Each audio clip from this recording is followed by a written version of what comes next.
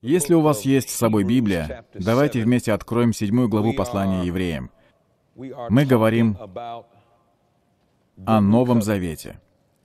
И я знаю, что у вас не мог не возникнуть вопрос о Завете с Авраамом. Сейчас мы поговорим об Авраамовом Завете, потому что это Завет — лучший учитель благодати. Да, это Завет благодати. И просто удивительно, как Бог все это устроил. И я вспоминаю, что то, что мы имеем возможность сейчас говорить о благословениях Нового Завета, начать рассматривать условия новозаветного соглашения, само по себе изумительно. Я не припоминаю, чтобы за всю свою жизнь и за время своего служения я слышал так уж много, если вообще слышал, проповеди о Новом Завете. Может быть, одна из причин тому, это я знаю по себе. Сам я начал понимать Авраама в Завет, и многое стало ясно относительно его. Но уразуметь, что такое новозаветное соглашение и его условия, для меня это было просто удивительное дело. Это удивительно. И мы сейчас начнем вникать в эту тему и рассмотрим ее дальше. Сосредоточьтесь, будьте внимательны. И давайте этим займемся и посмотрим, что нового мы сегодня узнаем. Для верующего важно не просто знание Библии.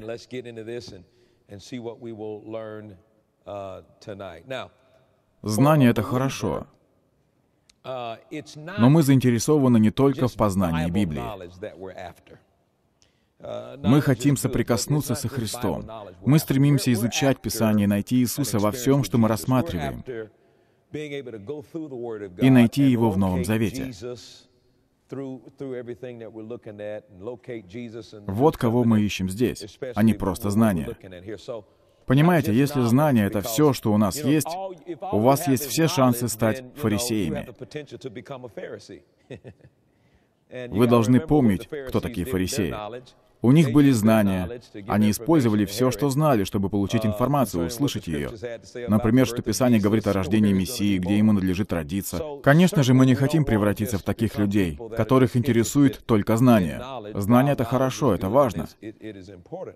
Но мы хотим приобретать те знания, которые ведут нас ко Христу.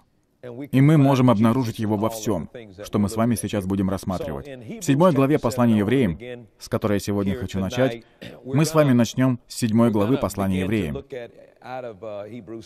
Говорится о двух видах священства. Священство по чину Аарона и священство по чину Мелхиседека. Я начну с начала главы и прочитаю отрывок до седьмого стиха включительно. И мы противопоставим эти два вида священства и посмотрим, что у нас получится. Вообще-то я начну раньше, с 20 стиха 6 главы. Евреям 6.20, и дальше перейду к 7 главе. Здесь говорится, «Куда предтечью за нас вошел Иисус, сделавшись первосвященником навек по чину Мелхиседека. Ибо Мелхиседек, царь Салима, священник Бога Всевышнего, тот, который встретил Авраама и благословил его, возвращающегося после поражения царей, которому и десятину отделил Авраам от всего.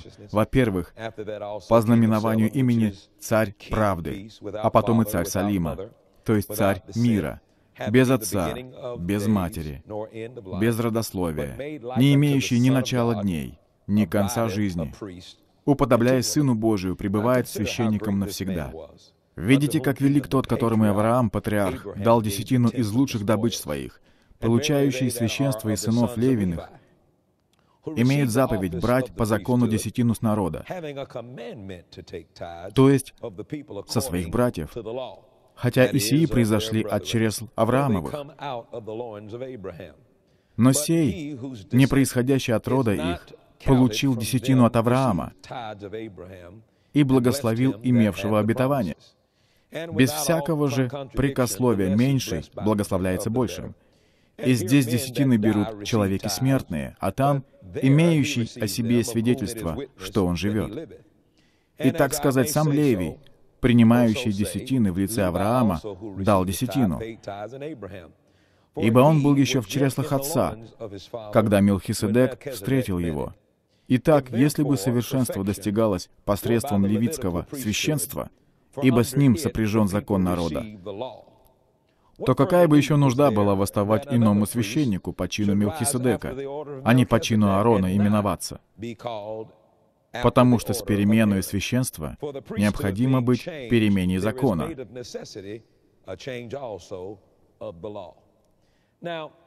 Давайте рассмотрим эти два вида священства, о которых говорится в седьмой главе послания к римлянам. Есть старое священство, есть новое священство. В старом, ветхом священстве первосвященник Аарон. Это священство по чину Ааронову. Новое священство — священство Милхиседека. Что касается священства Аарона, вы обнаружите следующее. При священстве по чину Аарона есть часть Божья и есть часть человеческая. В священстве Аарона есть доля Божья и доля человеческая. При священстве же Мелхиседека есть Божья часть. И все. И все. Есть часть Бога. Если же вы захотите найти человеческую часть, то обнаружите сегодня, что человеческая часть всегда заключалась в благодарности. Итак, при священстве по чину Ааронову человек повиновался Богу, что-то делал, и тогда Бог отвечал человеку. Человек что-то делал, Бог реагировал. Но при священстве по чину Милхиседека есть только Божья часть. А наша реакция на это — жертва благодарения. Это различие понятно. Когда Авраам, как вы, возможно, помните, встретил Милхиседека, Мелхиседек вышел к нему с хлебом и вином. Это первый пример хлебопреломления, причастие при священстве по чину Мелхиседека. И первое слово, которое раздается из уст Мелхиседека, это, внимание, это слово «благословен». Первое слово, сказанное им, «благословен». При священстве Мелхиседековом не было проклятия. Было только благословение. Проклятия не было. И наоборот, если мы посмотрим на священство по чину Аарона, там было и благословение, и проклятие. Так вот, при священстве по чину Аарона благословение и проклятие зависели от дел. Благословение приходит, когда ты послушен, а проклятие, если ты не был послушен. Но при священстве Мелхиседека были только благословения. Аллилуйя. Одни благословения. Проклятия не было при священстве Мелхиседека. И Писание говорит нам, что Иисус Христос — первосвященник по чину какому? Мелхиседека. Не по чину Аарона, где было и благословение, и проклятие. Не по чину Аарона, где была Божья часть, а потом человеческая часть. Реакция.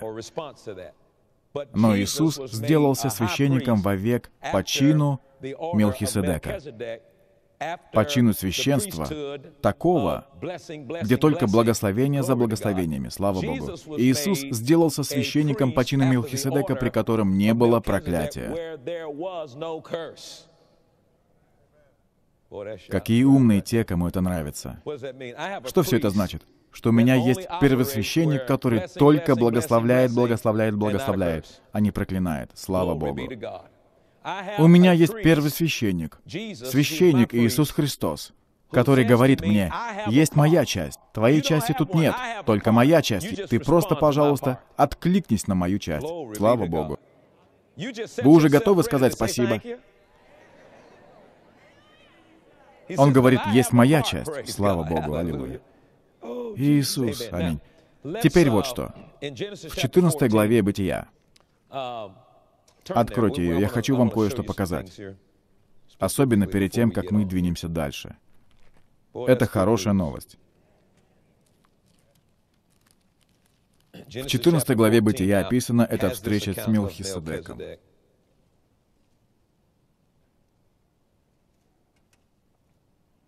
Иисус — первосвященник. Слава Богу. Давайте быстро рассмотрим этот отрывок. Это не займет много времени. 18 стих. Авраам взял с собой более трехсот специально обученных слуг, и они вступили в сражение, и благословение Божье было на них, и позволило им победить в этой битве. И они забрали трофеи и лота. Ох уж этот Лот. Интересно, была бы вообще в жизни Авраама эта битва, если бы он оставил Лота дома, как ему было велено с самого начала. Потому что Лот умел создавать проблемы. Хорошо. Стих 18. «И Мелхиседек, царь Салимский, вынес хлеб и вино. Он был священник Бога Всевышнего. Аминь. И благословил его. И сказал, смотрите, что он сказал, «Благословен Авраам от Бога Всевышнего, владыки неба и земли, и благословен Бог Всевышний, который предал врагов твоих в руки твои». И он, Авраам, дал ему десятую часть из всего. Как я говорил, и это так здорово соответствует тому, что мы видим здесь. При священстве по чину Мелхиседека есть только благодарный отклик.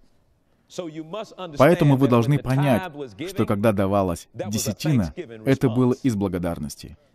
И вот что я вам скажу. Сегодня десятина — это благодарность. Это благодарная реакция христиан которые теперь живут по Новому Завету и получают только благословение за благословением. Мне обязательно нужно пойти и принести эту десятину, потому что надо поблагодарить Бога за то, что Он для меня сделал. Я буду давать десятину из благодарности. Я не связываю себя законом о десятине. При том священстве не существовало закона десятине. Не было закона, который повелевал делать это. Обратите внимание, Просто по вдохновению, из благодарности за Божье благословение, которое помогло ему одержать победу в битве царей, слава Богу. Как тут сказано, Авраам дал ему десятую часть из всего. Это было благодарение. Это был тот отклик, который мы даем при священстве по чину Мелхиседека. Иисус сделался священником по чину Мелхиседека. Благословен, благословен. Благодарю, благодарю. Аминь. Отсюда теперь мы говорим, что на десятину надо смотреть как на выражение благодарности, признательности, как на честь, слава Богу. А не влезать в закон, где взять эту десятину. Да как это сделать? Нет, я благодарю Бога. Но я верю, что вот что важно. Важно сказать спасибо, потому что Библия — это Слово Божье. Даже если это касается благодарения, Библия говорит, что важно оставаться благодарными, быть признательными Богу за то, что Он делает. И послушайте, для меня это звучит так, что по Новому Завету это благословение, благословение. Еще раз. И моя реакция на то, что я теперь в этом Новом Завете, такая. Благодарю, благодарю и еще раз благодарю. Аминь. Это не просто слова. Это не пустая болтовня. Слава Богу. Авраам откликнулся и принес десятину. И я сделаю все, чтобы моя десятина была моим благодарным откликом на то, что сделал Бог согласно Новому Завету. Теперь давайте возвратимся к евреям. Откройте седьмую главу этого послания. Евреям, глава 7. И когда откроете, найдите стих 11. Да, сегодня вы слышите очень серьезное учение, очень и очень серьезное. И я верю, что вы его тоже усвоите. Евреям 7.11. Давайте все вместе вслух прочитаем 11 стих. Вы готовы? Итак, если бы совершенство достигалось посредством левитского священства, ибо с ним сопряжен закон народа, то какая бы еще нужда была восставать иному священнику по чину Мелхиседека, а не по чину Аарона именоваться? Давайте рассмотрим этот стих. Задержимся на нем ненадолго. Итак, если бы совершенство достигалось посредством левитского священства, ибо с ним сопряжен закон народа. При левитском священстве, при священстве по чину Аарона, был получен закон. Библия говорит, что законом познается грех.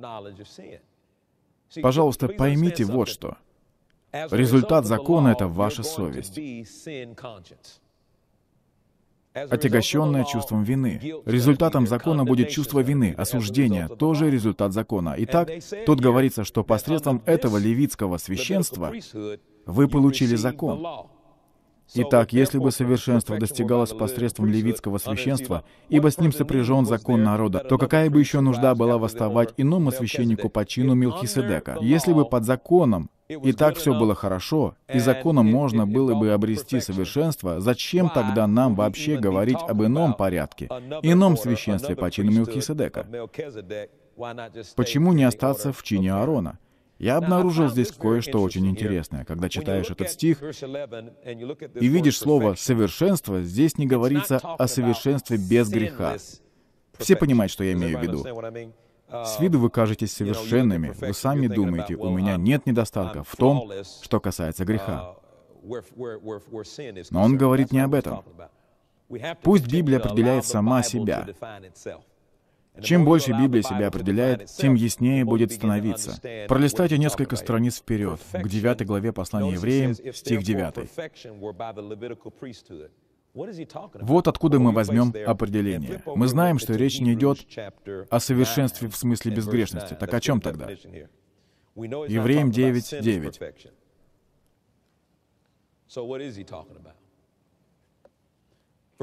Она есть образ настоящего времени, в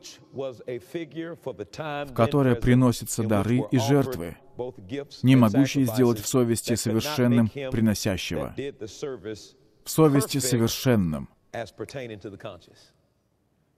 совершенным в совести. Вернемся теперь обратно в седьмую главу. В седьмой главе, там, где говорится, что если бы совершенство достигалось посредством левитского священства, автор говорит о совести. Под законом невозможно было обрести совершенную чистую совесть. Но здесь говорится о совести, что при левитском священстве вы не приобретаете чистую совершенную совесть. Совершенная совесть — это совесть без осознания греха. Это совесть, которая благодаря крови Иисуса Христа больше не находится постоянно в состоянии греховной совести. При левитском священстве этого не было. Вот почему необходимо было сменить священство. Потому что при левитском священстве ваша совесть была бы по-прежнему отягощена грехом. Ведь при левитском священстве пришел закон, а законом познается грех. И если ваша совесть отягощена грехом, ваша совесть несовершенна. Пожалуйста, поймите, если ваша совесть отягощена грехом, ваша совесть еще несовершенна. И в Библии это совершенство определяется исходя из того, что имеет отношение к сознанию. Совесть нужно усовершенствовать. А усовершенствовать ее можно единственным способом — крови Христовой. Вот что я должен сказать вам. Вы рискуете не пережить той свободы, которую дает Новый Завет. Если вы не разберетесь с этой своей, как говорится в Библии в первом послании Тимофею, сожженной совестью. Если вы не разберетесь с этой греховной совестью, не будет работать ваша вера. Если вы не разберетесь с сожженной совестью, и дьявол знает это, вы не сможете пережить во всей полноте благословения Нового Завета, который принес нам Иисус. Итак, кровь Христа способна сделать совершенной совесть. Греховная совесть — злая совесть. Греховная совесть — порочная совесть. Посмотрим 10 главу Евреям, стих 22. Здесь сказано о том, что делает для нас кровь. Евреям 10.22 говорится, «Да приступаем с искренним сердцем, с полной верою, краплением очистив сердца от порочной совести и омыв тело водою чистою. Наше сердце, благодаря крови Иисуса, очищается от порочной совести. Греховная совесть — это порочная совесть. Итак, всякий раз, когда вы предстаете перед Богом, вам не дает приблизиться к Нему порочная совесть. Всякий раз, когда вы приходите к Богу, чтобы исцелиться, освободиться, получить ответ на молитву, вам всякий раз препятствует греховная совесть, порочная совесть. Потому что вы еще не приняли тот факт, что кровь Христова очистила меня от всякого греха и омыт крови Христовой. А в Библии говорится, что кто омыт крови Христовой, не мучается больше совестью из-за греха. Если мы продолжаем мучиться угрызениями совести из-за греха, значит, мы не приняли того, что совершила для нас Его кровь. И если вы обнаружили, что продолжаете испытывать в этой сфере сложности, вы не приняли, что сделала для вас кровь. И это будет препятствовать вашей вере. Каждый раз, когда вы будете приходить к Богу, порочная совесть будет вас останавливать. Некоторые думают, что сожженная совесть означает, что она больше не распознает грех. Нет. 1 Тимофею 4.2 говорит о сожженной совести. И если изучить значение греческого слова, то получается, что сожженная совесть означает постоянное осознание греха. Когда ваша совесть сожжена, это не значит, что вы больше не способны различать грех. Это значит, что все, о чем вы можете думать, это совершенные грехи. И это постоянно. Вы никуда не можете от этого деться снова и снова. Это значит, что если у вас сожжена совесть, вы никак не отзываетесь на то, что совершил для вас кровь. Ваша совесть постоянно отягощена грехом. Все время вы думаете о грехах. Всем это понятно. Итак, ключ к победе в нашей христианской жизни в том, что нам необходимо принять то, что сделал для нас Иисус Христос в Новом Завете. И вы должны в это поверить. Должны верить. Минуточку. Мои грехи омыты. Нужно верить, что Бог милостив к нашим грехам. Нужно верить в этот дар, что вам не вменяется грех, что Бог не держит ваши грехи против вас. Нужно верить в вмененную вам Божью праведность, по вере во Христа Иисуса. И всякий раз, когда приходит самосуждение, и в вас пробуждается греховная совесть и говорит, «Я этого не заслуживаю», знаете, всегда будет что-нибудь не так. И даже христиане могут звонить и говорить вам что-то, и если вы чувствуете осуждение, значит что-то не так, что-то неправильно. В этом есть что-то неправильное, потому что можно взять какие-то принципы из Слова Божьего и превратить их в закон, и это принесет в чью-то жизнь осуждение. И появляется законничество и все такое. Законнический подход к тому, как ты говоришь, как ты молишься, как на колени встаешь. Все это рождает осуждение — и это как раз то, от чего пытается избавить вас Бог. Когда в вашей жизни появляется это законническое мышление, тогда ваша совесть постоянно отягощена грехом, и вы не в состоянии что-то принять. Я могу так говорить, потому что благодаря крови Христа грех для меня больше не проблема. И кто-то скажет, но это значит, если ты согрешишь, даже если согрешишь, это не проблема. Ну, не знаю, как-то это странно. Но тот, кто не имеет греховной совести, тот говорит, Иисус Христос заплатил за мои грехи. Мой долг уже уплачен. Если я промахнулся мимо цели, Бог уже позаботился обо мне. Я не буду истязать себя за то, что промахнулся, потому что Христос уже сделал все, что нужно, а мне остается только принять то, что уже совершила Его кровь. Не так уж важно, как именно я это скажу, но если говорить, а по сути я скажу вот что, послушайте, когда вы согрешаете, провозглашайте, что вы праведность Божья, и не позволяйте этому греху, промаху в определенной области, заставить вас пренебречь тем, что сделал Христос с нашей совестью. Я не грешник, который спасен благодатью. Я спасен. Я спасен. И Иисус разобрался с моими грехами. Мои грехи омыты. Он покрыл их милостью. Он больше не помнит их. В тот день, когда вы в это поверите, вы избавитесь от греховной совести. Но когда у вас греховная совесть, вот что я вам скажу, большинство людей приобретают греховную совесть в церкви. И вы живете так, потому что вам говорят, ты должен делать то-то, то-то и то-то.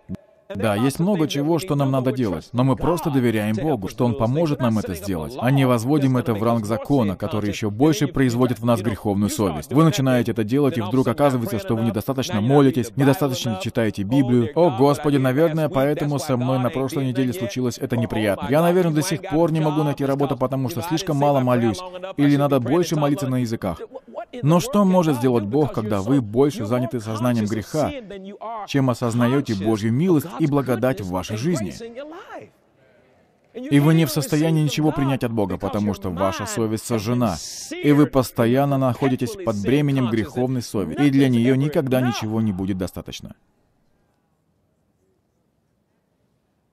И я знаю, с какой традицией я сейчас имею дело. Я знаю, что когда я говорю это в церкви, тем, у кого другое мнение, лучше уйти, потому что наша совесть настолько озабочена грехом, то все, что мы делаем, это мы сидим и думаем, что придем к Богу со своими списочками и скажем, Смотри, Господь, у меня тут везде галочки стоят, и все я делал правильно. Но когда мы приходим ко Христу, Он единственный, кто сумел соблюсти весь закон.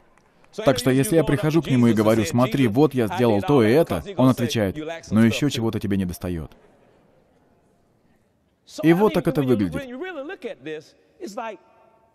Мы со своей греховной совестью в конце дня можем только сказать, ну при таком раскладе мне опять не на что надеяться. Господи, ну зачти мне немножко то, что я сделал в двухтысячном. Нет, Иисус, Иисус уже заплатил за ваши грехи. Прошлые, нынешние и будущие. И в день, когда вы поверите в это, и в день, когда вы это примете, когда вы примете то, что совершила для вас кровь Христа, и избавитесь от этой греховной совести, вы обретете такую свободу, о какой вы даже и не подозревали. Когда Адам и Ева вкусили от древа познания добра и зла, задумайтесь об этом. Познание добра и зла. Что представляет собой закон? Что? Это то, откуда мы знаем, что хорошо и что нет. Откуда мы знаем, что 80 — это превышение скорости, а 65 — это предел? Вы это знаете. Это древо было неким видом закона. Его сотворил Бог. И знаете что? Дерево, как и закон, было хорошим. С ним все было нормально. Бог сотворил все, что было в саду, и это было хорошо. Дерево познания добра и зла было хорошим деревом. В нем не было ничего плохого. Но добавим, друзья, закон был хорош. Дерево было хорошее, но дерево было нехорошо для человека. Закон хороший, и дерево хорошее, но они не хороши для человека.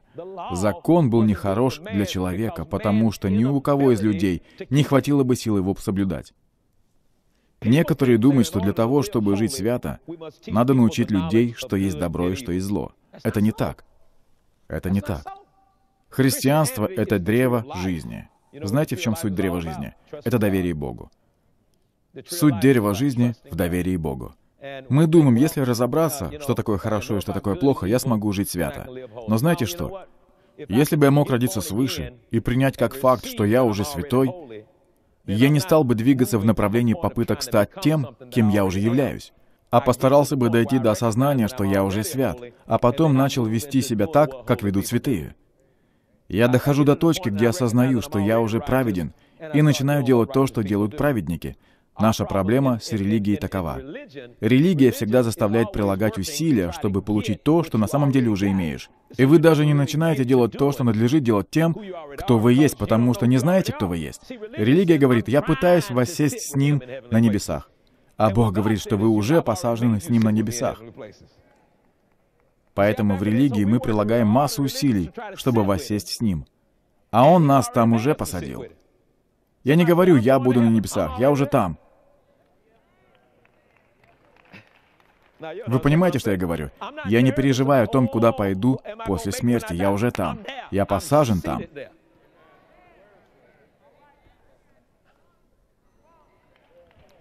Вы идете в землю обетованную. Я уже там. У меня есть право. У меня есть право. Так что, когда вы смотрите на землю обетованную, смотрите на библейские обетования, вы должны смотреть на это так. У меня уже есть на это право. И мне нужно оставаться там. И нужно начать действовать так, как будто я уже там.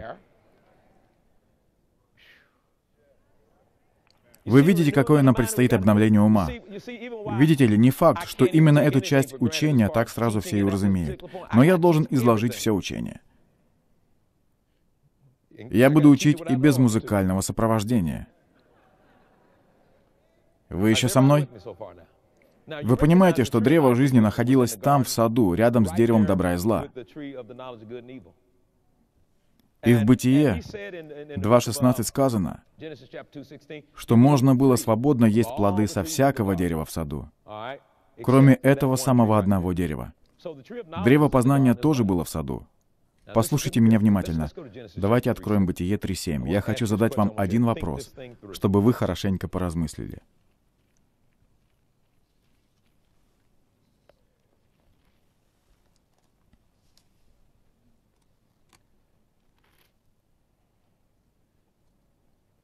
Вот они только что вкусили от древа познания добра и зла.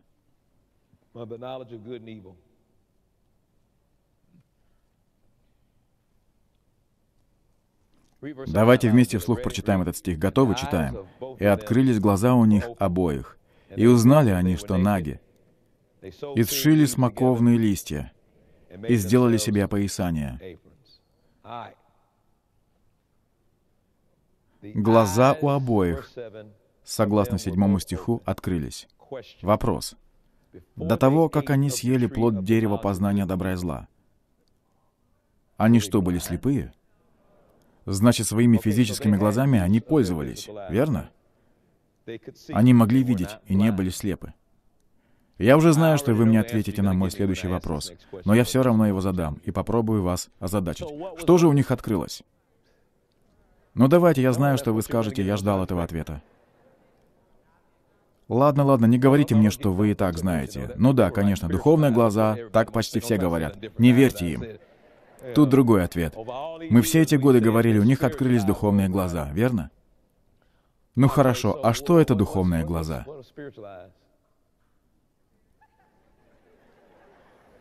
Ах, да, точно, это глаза духа. Нет? Давайте попробуем разобраться с этими глазами. В день, когда вы вкусите от этого дерева, откроются глаза вашей совести.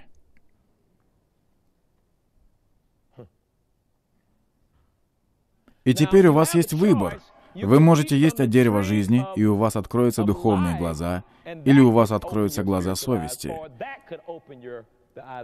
Ваше действие может открыть глаза совести. Что произошло, когда они вкусили от дерева познания добра и зла? Пришло осознание греха. Что они начали видеть? Тут кто-то кричал, что они теперь стали способны видеть добро и зло. Вот почему они надели опоясание, потому что они могли что-то увидеть. Но что произошло бы, если бы они вкусили не от дерева познания, а совесть пробудилась бы от дерева жизни?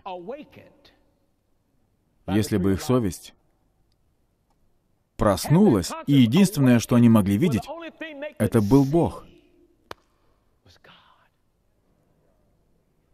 Подумайте об этом. Подумайте, поразмышляйте, что бы произошло, где бы вы были сегодня, если бы вы не видели ничего, кроме Бога. Вы не видели бы греха. Может, он и был там потенциально, но вы бы его не видели. Жизнь. О Боже. Знаете, что я сейчас говорю? Я даю вам выбор, поскольку вы свободнее, чем ангелы, чтобы определить, что пробуждает в вас совесть, что будет контролировать глаза вашей совести. Первый человек выбрал дать открыть в нем глаза совести древу познания добра и зла. И вот что он начал видеть. Все это относится к вашей совести. Вопрос в том, что вы хотите. Хотите, чтобы вашей совестью управлял закон, или хотите, чтобы вашей совестью управлял Христос? Если бы они вкусили от древа жизни, было бы то же самое. Но они наслаждались бы общением с Богом. Итак, что же у них открылось? Совесть. Глаза совести. Раньше я думал, что когда совесть осуждает меня за что-то, за то, что я сделал неправильно, это подтверждение того, что я спасен. Слава Богу, это Он обличает вас, и это подтверждение. Однако возникают две проблемы. В Иоанна 16.8 говорится, что Он обличит мир во грехе. Нас же убеждает в нашей праведности. Так что если уж имеет место какое-то убеждение, так это Дух Святой убеждает вас в том, что вы, видите ли, когда вы промахнулись мимо цели, Дух Святой не будет вас осуждать за этот промах. Это делает греховная совесть. Дух же Святой обличает вас в том, что вы праведны. Он пытается подтолкнуть вашу совесть задаться вопросом, кто вы. Вы праведники, но что касается мира, который не стал еще праведностью, он хочет обличить его во грехе. Я спасен, вы спасены. Когда вы промахиваетесь мимо цели, он хочет не обличить вас в том, что вы промахнулись. Он хочет напомнить вам, что вы — праведность Божья. Я знаю, что вас держат ваши традиции. Я просто пытаюсь их с вас немножко счистить. Наша совесть — это голос, который говорит нам, когда мы сходим с правильного пути. Я это знаю. Но совершенная совесть, скажите, совершенная совесть, знает, что мы избавлены от этого зла. И это позволяет нам приходить к Богу с уверенностью. Совершенная совесть знает, что мы уже избавлены от этого греха. И понимаете, Господи, это замечательно, помоги, пожалуйста, это донести. Попробую так. Когда у меня совершенная совесть, не греховная совесть, то когда я промахиваюсь мимо цели, первое, что говорит мне совершенная совесть, ты избавлен. Ты освобожден от этого деяния. И ты можешь уверенно идти к Богу. Скажите уверенно. Библия говорит, «Итак, не оставляйте чего?» Которому предстоит что? Чтобы вы атаковали в первую очередь на месте врага. Уверенность. А как бы вы атаковали эту уверенность? Посредством греховной совести. Греховная совесть. Если мне удастся вселить в вас греховную совесть, и она будет и дальше вас мучить, у вас не будет уверенности перед Богом, совсем не будет. Вы можете противостоять дьяволу с уверенностью, без самоосуждения, без порочной совести. Есть стих об этом. Давайте сначала посмотрим первое послание Иоанна, третью главу. 1 Иоанна, третья глава.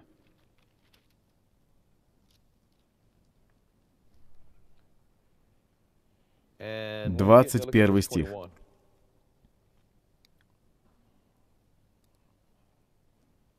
Если нашли, скажите «Аминь». Возлюбленные, если сердце наше не осуждает нас, то мы имеем дерзновение. Когда мы имеем дерзновение? Когда мое сердце что? Когда мое сердце меня не осуждает. Надо кое-что понять. Если я позволяю сердцу осуждать меня, если оно осуждает, это будет влиять на мое дерзновение, уверенность перед Богом. И стих выше говорит, я сегодня чуть не прослезился, когда это читал. Бог больше сердца нашего. Знаете, что тут говорится? Даже если ваше сердце осуждает вас, Бог говорит, «Я больше, чем твое сердце. У меня все равно есть для тебя благодать. У меня есть прощение». Ну вот что. Ты ведь не хочешь делать ничего такого, за что тебя осудит твое же сердце. Это один из факторов, который удерживает от греха. Вы задумываетесь и говорите, «Нет, я не хочу этого делать, потому что я не хочу, чтобы мое сердце меня осуждало». Кого осуждало сердце? За какие-нибудь ваши поступки? А остальных что, сердце никогда не осуждало? Если ваше сердце когда-нибудь осуждало вас за то, что вы сделали, послушайте меня. Вы чувствовали себя просто ужасно. Вы думали, что я натворил. И потом, когда вы приходили к Богу, чтобы молиться, возлагать руки на больных или еще что-то делать, где была ваша уверенность? Вы просто осуществляли обычные действия, но в этом не было силы, потому что в таком состоянии мне трудно сосредоточиться на том, что я делаю для другого, ведь мое сердце испытывает такое осуждение. Потом, через какое-то время, вы понимаете, что больше не хотите делать ничего такого, что приводит к подобным ситуациям. Это не в моих интересах делать то, за что сердце меня осуждает. Я хочу жить свято, потому что тогда сердце меня не осуждает. Мое сердце не осуждает меня, когда я живу святой жизнью. Мое сердце не будет осуждать меня. И у меня будет уверенность перед Богом. Если же я теряю уверенность, какая главная причина? Я позволил своему сердцу меня осуждать. Бывает, что вы позволяете своему сердцу осуждать вас, и это действие греховной совести. Когда вы осознаете свой грех, вам становится плохо. Вы где-то промахнулись мимо цели. Вы испытываете осуждение, потому что у вас греховная совесть. И вы будете испытывать осуждение, вы потеряете уверенность в Боге, а потом и награду, потому что нет веры, потому что вам нужна совершенная совесть. Все возвращается к тому, что нам не вменяется грех. Все опять упирается в то, верите ли вы, что Иисус Христос разобрался со всеми вашими грехами. Верите ли вы, что Христос не вспомнит более вам ваших прегрешений? Главная проверка — это что вы говорите. Вот когда вера испытывается. Что вы делаете, когда говорите? Вы говорите, «О Господь, мое сердце так меня осуждает, потому что моя совесть запятнана грехом, и у меня нет уверенности в Боге». И я знаю, это то, что говорит ваша религия, но все должно дойти до той точки, когда вы скажете, «Когда я не попадаю в цель, я все равно праведность Божья». Я не забыл об очищении моих грехов. Я не грешник, я примирен с Богом и ваше сердце не осуждает вас. И вы идете дальше. Пожалуйста, поймите разницу. Да, ваше сердце будет осуждать вас, если вы допустите в своей жизни что-то такое, за что осуждает сердце. Вам понятно? Вы можете сказать, у меня чистая совесть. И при этом продолжаете делать то, за что сердце осуждает. Поэтому надо включить святой образ жизни. Вы понимаете, о чем я? Но та же совесть поможет вам не зацикливаться на том, как вы промахнулись 20 лет назад. И Бог не может сделать это за вас. Видите, я пытаюсь показать вам две стороны. Святая жизнь — это то, что я делаю, чтобы меня не осуждало мое сердце. Теперь я скажу что-то, что сложно принять. Я надеюсь, что после этого вы все-таки доживете до следующего служения. Святая жизнь — это то, что я делаю, чтобы меня не осуждало мое сердце. Я не пытаюсь жить свято, чтобы произвести впечатление на Бога, потому что в тот самый момент, когда я получил спасение, Бог сделал меня святым. Из позиции своей святости, которую я обрел в тот день, когда получил спасение, я сделался святым в день, когда получил спасение. Я стал праведным в день, когда получил спасение. Я посажен на небесах в день, когда получил спасение. Я обрел процветание в день, когда получил спасение. Я исцелен. Большинство христиан стараются достичь святости, но я принял свою позицию, я святой. Библия говорит, без святости никто не увидит Господа. Но в день, когда я получил спасение, я сделался святым. Понимаете, что я говорю? Бог сделал меня святым. Теперь с позиции своей святости я делаю выбор оставаться в ней, чтобы мое сердце меня не осуждало. Теперь смотрите. Если даже я совершаю не святой поступок, я все равно свят. Я все равно очищен. И Бог уже меня простил. Но у меня будут проблемы с уверенностью. Если я не научусь жить, исходя из позиции святости, которая мне дана, я святой, и я хочу научиться жить как святой. Смотрите, я праведен. Кто верит, что вы праведность Божья? И я хочу, в конце концов, начать делать то, что делает праведник. Окей? Я исцелен. Я хочу начать перемещаться в положение, которое у меня уже есть. Я преуспевающий. И как преуспевающий человек, я хочу начать переходить в положение, которое уже имею. Вот в чем состоит вера. А большинство людей думают, я живу свято, чтобы попытаться этим угодить Богу. Нет. Я живу свято, чтобы меня не осуждало мое же сердце, чтобы у меня была уверенность перед Богом, потому что награда, которая приходит с уверенностью, уже есть. Вам это понятно? Вы видите, как много у нас традиций религиозности, от которых надо избавляться. В Библии говорится, что ваши традиции делают Божье Слово бесполезным. Вот почему я проповедую снова и снова и снова, чтобы вы хорошенько это уразумели. И все то, о чем мы говорили до сих пор, имеет смысл, когда вы верите в то, что сделал для вас Иисус Христос. Иначе ничего не выйдет. Главная моя мысль в том, что благодать освобождает от порочной совести. Дьяволу ненавистен тот факт, что вы очищаетесь от порочной совести. Он ничего не в состоянии поделать, если вы отказываетесь жить под законом и иметь порочную совесть. Вы победители. Что он может вам сделать? Дьявол атакует вас, потому что хочет вернуть вашу совесть в порочное состояние, греховной совести, чтобы ваша вера не действовала. Дьявол знает, что если вы осуждаете себя, то в итоге вы начнете осуждать и других. И еще дьяволу известно, видите ли, когда мы начинаем осуждать людей, это противоположность любви к людям, так? Он знает, что люди, которых осуждает собственная совесть, первыми поверят во что-то плохое о Боге. если вы осуждаете себя и других, вы первыми скажете, «А это Бог тебя наказал». Это Бог не дает тебе детей. Или это Бог сделал так, что ты потерял работу. Потому что такие люди сами испытывают осуждение. И при первой возможности поверят в плохое. В Библии говорится, что совершенство достигается посредством священства по чину Мелхиседека.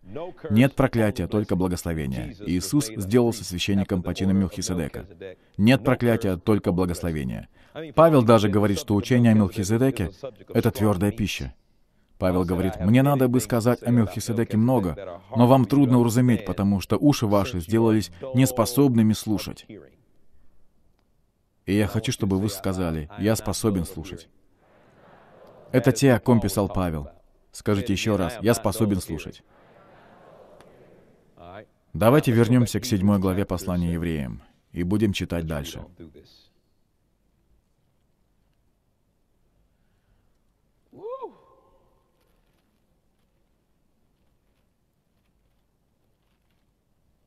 Евреям 7.12. Там говорится, «Потому что с переменой священства необходимо быть перемене и закона». Перемена священства заключается в переходе от священства Ааронова, посредством которого левитского священства был дан закон, к священству Мелхиседекову, где Иисус теперь навечно сделался первосвященником по чину Мелхиседека. Теперь это необходимо. Закон придется изменить. 13 стих. «Ибо тот, о котором говорится сие, принадлежал к иному колену, из которого никто не приступал к жертвеннику. Ибо известно, что Господь наш воссиял из колена Иудина, о котором Моисей ничего не сказал относительно священства. То есть Иуда не имел к нему отношения. 15 стих.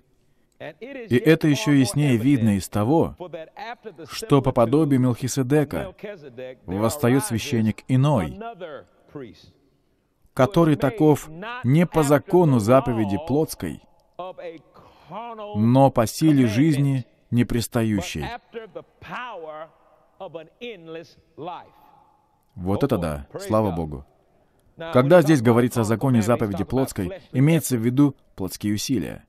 Бог намеревался сделать Иисуса Христа священником по чину Милхиседека. Но Он сказал, это священство не по усилиям плоти, не по закону заповеди плотской. 17 стих.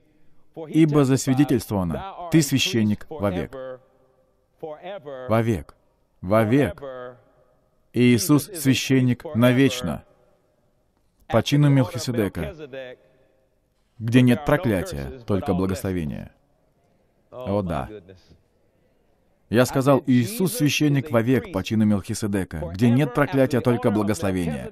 Поэтому сущая нелепость, когда люди говорят «я проклят Богом» или «я проклят Христом», потому что Он не может этого сделать. Это не тот закон. По условиям новозаветнего соглашения только благословение, нет проклятия.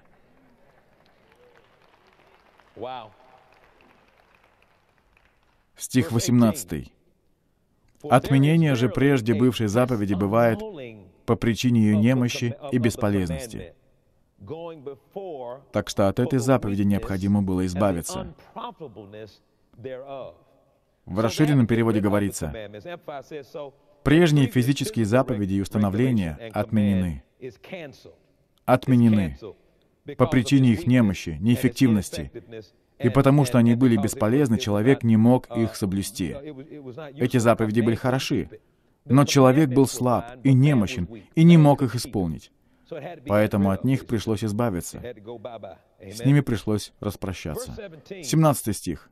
Я хочу его повторить. «Ибо засвидетельствовано, ты священник вовек по чину Мелхиседека». И вы знаете, что делает священник по чину Мелхиседека? Он благословляет, благословляет, благословляет. И Иисус, мне хочется, чтобы вы вот что поняли. Вот по какому соглашению я живу. Когда вы не видите этого, вы знаете, это не то. На самом деле, благословение, благословение, благословение. Давайте перейдем к восьмой главе, стих 6. Посмотрите. Вот что здесь говорится.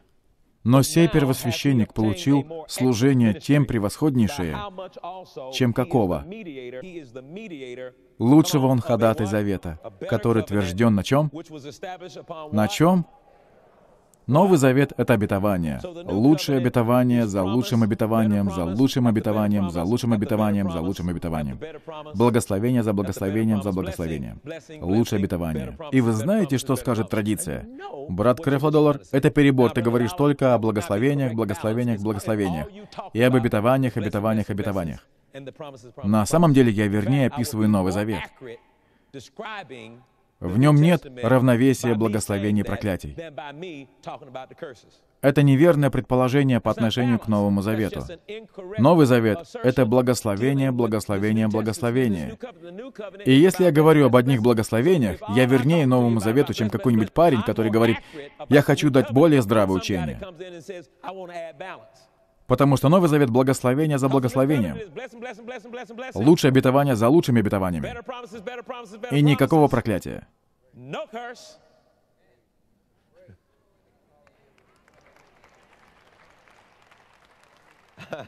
Да. Это и есть Новый Завет. Это Новый Завет.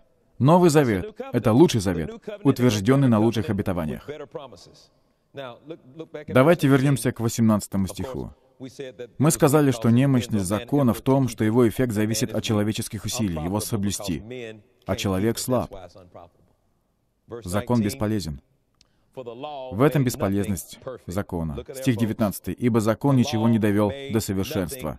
Смотрите, закон ничего не довел до совершенства. Закон ничего не довел до совершенства но вводится лучшая надежда, посредством которой мы приближаемся к Богу. Что тут имеется в виду под совершенством? Это касается совести. Посредством закона ваша совесть не могла достичь совершенства, но вводится лучшая надежда, посредством которой мы приближаемся к Богу. Лучшая надежда пришла посредством Иисуса Христа. Лучшая надежда пришла, когда Иисус пролил свою кровь, когда Он установил Новый Завет. Перейдем к 20 стиху. «И как сие было не без клятвы, и как сие было не без клятвы».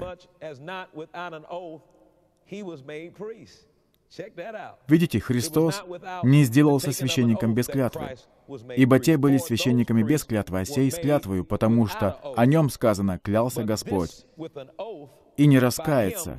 Ты священник вовек по чину Мелхиседека.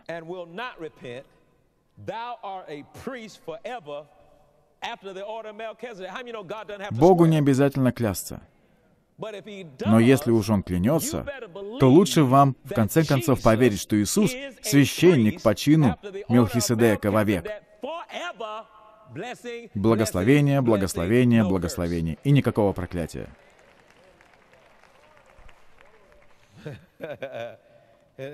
Смотрите, что говорится в 22 стихе. «То лучшего завета поручителем, то есть гарантом Нового Завета, соделался Иисус. Гарантии Нового Завета зависят от Христа. Мы должны знать Новый Завет. Мы должны знать, что Новый Завет, послушайте меня, гарантирован от неисполнения. Я скажу даже с защитой от тупости.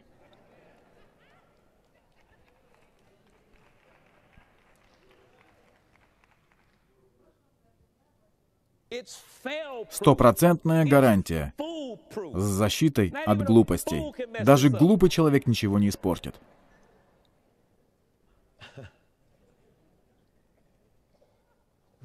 Почему? Почему он гарантирован от неисполнения? Потому что все зависит от Бога. В Ветхом Завете реакция Бога зависела от вас. Но в Новом Завете все зависит от Бога.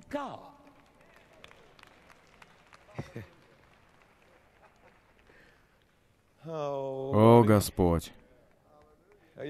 Все зависит от Бога. Все зависит от Бога. Вот почему не может быть смешения. Нельзя смешивать эпохи, диспенсации. Нельзя смешивать эру благодати с эрой закона. Под законом Божья реакция определялась действиями человека. Под законом существовала человеческая часть и Божья часть. Но по Новому Завету это Бог. Все зависит от Бога. У Него есть все.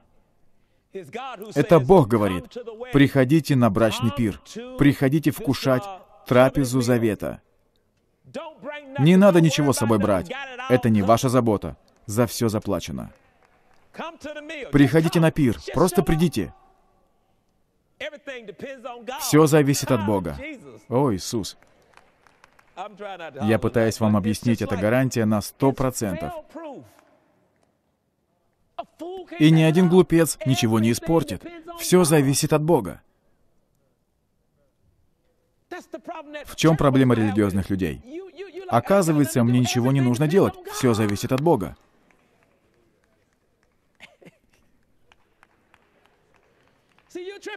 И кому-то становится неуютно, ведь там теперь нечем хвалиться, потому что все зависит от Бога.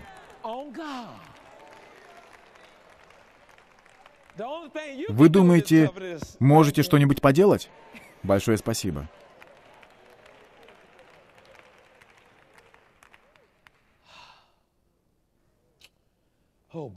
Да уж. Слава Богу. Давайте теперь перейдем к восьмой главе послания к евреям. Евреям 8. Попробуем разобрать ее немного подробнее. Вы понимаете, что вы сейчас слышите? Иго мое благо.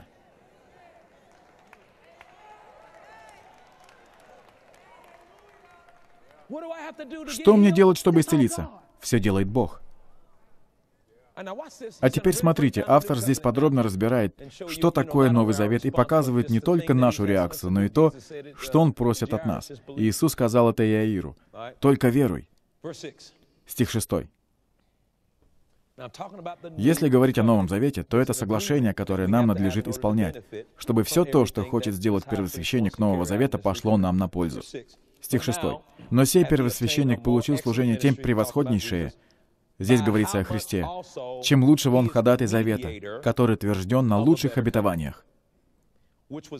Ибо, это интересно, ибо если бы Первый Завет был без недостатка, то не было бы нужды искать место чему?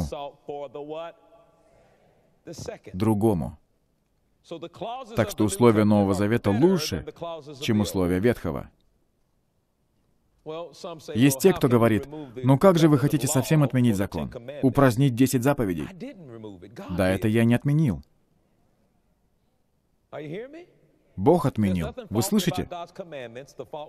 В самих Божьих заповедях не было недостатков. Единственным недостатком было то, что человеку было не под силу их соблюдать. Закон совершенен. Я не хочу, чтобы вы думали так. О, закон — это что-то ужасное. Нет, нет. Закон совершенен. Он от Бога, он хорош. Но поскольку человек не мог это исполнить, Бог сказал, нет, так больше не будет. Надо создать ситуацию, выигрышную при любом исходе. Смотрите, это Бог. Восьмой стих. Но укоряя их, это Бог укоряет, понимаете? Он говорит, вот, наступают дни, говорит Господь, когда я заключу что? Новый завет с Домом Израиля. Мы внутри Иудеи, так говорит Библия. Итак, он заключил Новый Завет с Домом Израиля и Домом Иуды, так? И стих 9. Не такой завет, какой я заключил с отцами их в то время, когда взял их за руку, чтобы вывести их из земли египетской. Он говорит здесь, что этот завет не будет основываться, не будет опираться на принцип «есть часть человека и часть Бога». Не на этом он будет основан. И знаете, если посмотреть на сегодняшнюю церковь, она до сих пор это смешивает. Верующие по-прежнему говорят, есть моя часть и есть Божья часть. Но я скажу вам, в этом Новом Завете есть только Божья часть. Аллилуйя. Хорошо. Он продолжает. «Когда взял их за руку, чтобы вывести их из земли египетской, потому что они не пребыли в том завете моем, и я пренебрег их, говорит Господь». Так? Итак, они не выполнили свою часть, потому что не прибыли в завете моем. Так что это не сработало, потому что они не исполнили свою часть не выполнили то, что от них требовалось. И я буду говорить об этом позже. Об этом упоминается в пятой главе Евангелия от Матфея. Почитайте сами потом, когда будет время. «Вот завет, который завещаю Дому Израилеву после тех дней, — говорит Господь, — вложу законы мои в мысли их и напишу их на сердцах их, и буду их Богом, а они будут моим народом. И не будет учить каждый ближнего своего и каждый брата своего, говоря, «Познай Господа, потому что все, от малого до большого, будут знать Меня».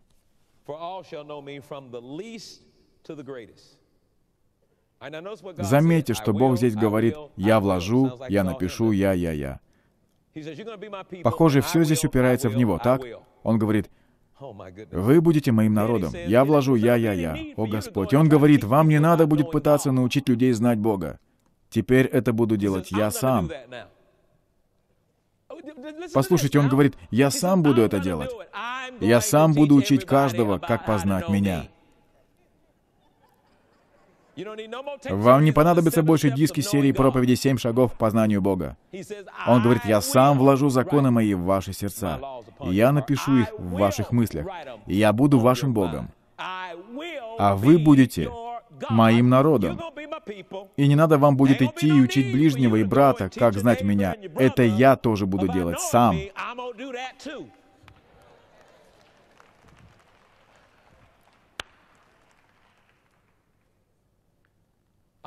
Пока все делает Бог, верно? А теперь он скажет единственное требование, которое предъявляется к нам. Друзья мои, мы с вами говорим о завете. И если это завет, то у него есть условия, и требования, и соглашения, которые необходимо соблюдать, чтобы он принес вам пользу. Соглашение в Эдемском саду звучало так. «Не ешьте плодов этого дерева, и благословения не прекратятся».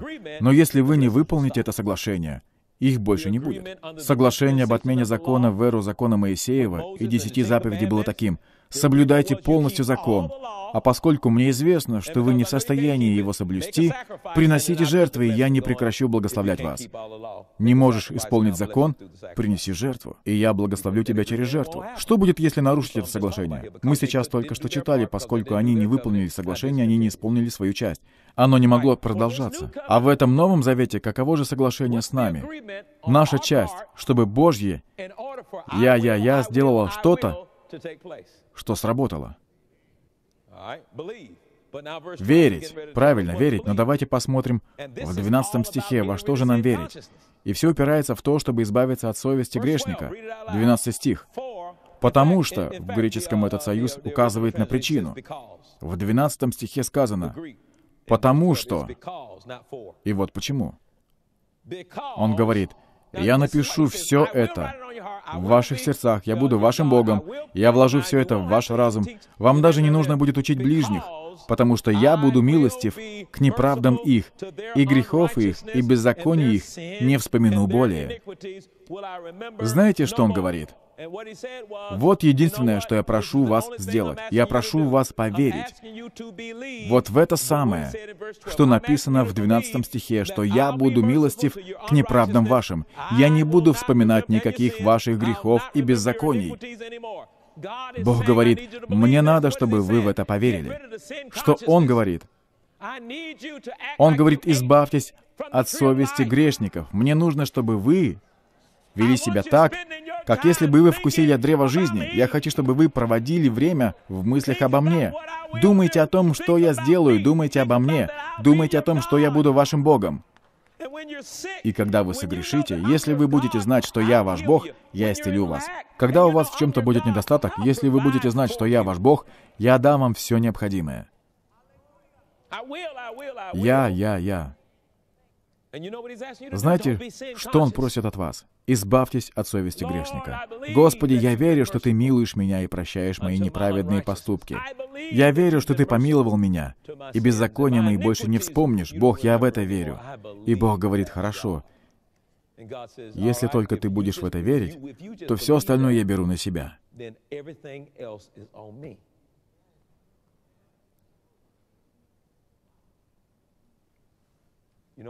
Знаете, когда лучше всего в это верить? Когда ты что-то натворил. Смотрите 13 стих. «Говоря новый, показал ветхость первого, а ветшающее и стареющее близко к уничтожению». Здесь говорится о законе. Он близок к уничтожению. Он готов уйти. Вы будете знать Бога благодаря праведности. Праведность будет вести к познанию Его.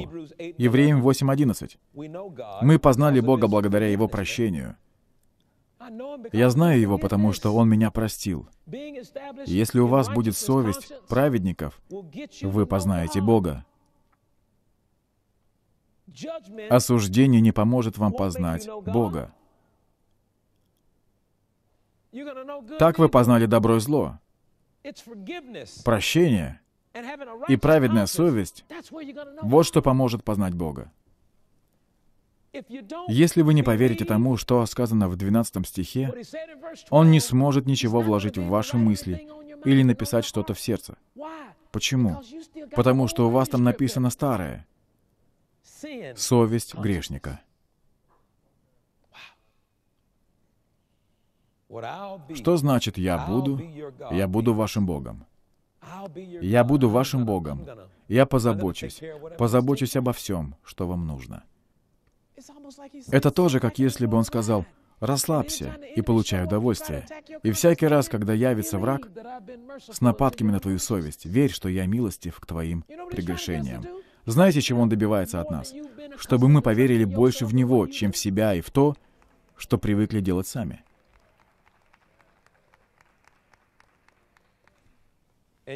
А мы все время сопротивляемся. То, что сказано в послании к евреям, он обещал в книге пророка Иеремии. 31, 31, 34. Это то же самое. В Иеремии 31, 34 говорится абсолютно то же самое, что я вам сейчас прочитал. И сейчас исполняется то, о чем пророчествовал Иеремия. Дьявол будет нападать, но я не буду на этом зацикливаться. Я буду, я буду. Какой величественный завет. Хорошо, Господи. Но что происходит? Пожалуйста, прекрати. Сам прекрати. Знаете, что я вижу? Как это плохо, что вы не хотите расстаться со своей совестью грешников. Вам кажется, что вам проще справиться с ней, чем довериться Богу. А я говорю вам, Греховная совесть — это проблема. Религия не хочет с этим соглашаться. Да, но только не говорите мне, что не нужно чувствовать себя плохо из-за этого греха, потому что я так себя чувствую.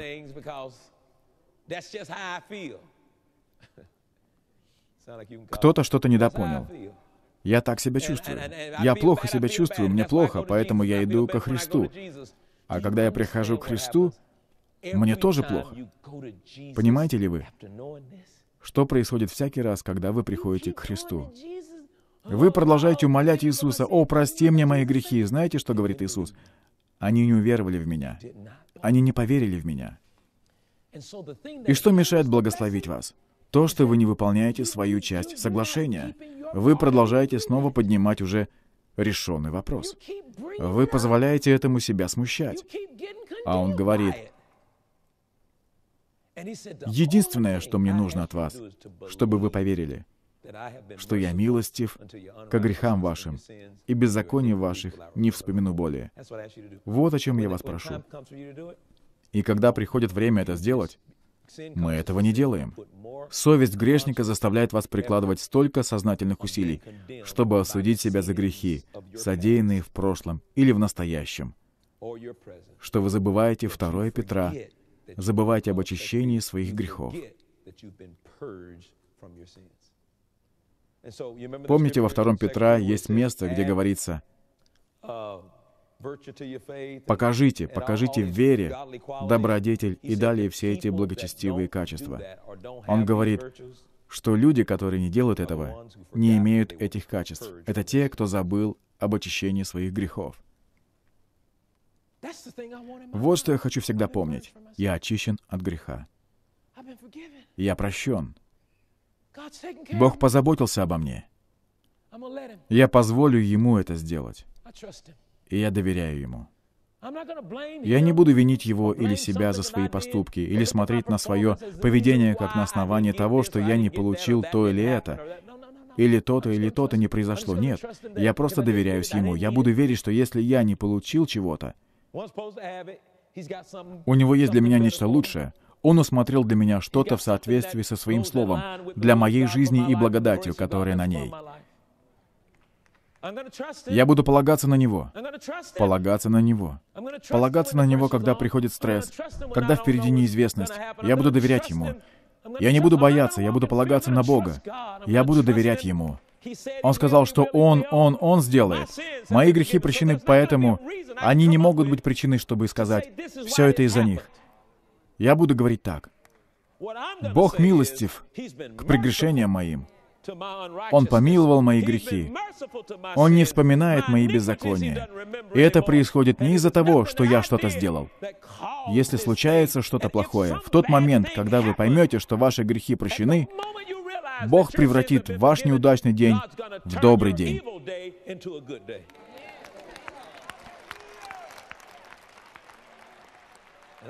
У меня хорошая новость для вас. Ваш плохой день прошел, и вы увидите добрые дни. Слава Богу!